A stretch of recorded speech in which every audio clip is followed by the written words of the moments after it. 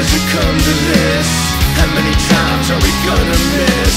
We've had our hearts and we'll never last Another chance to repeat the past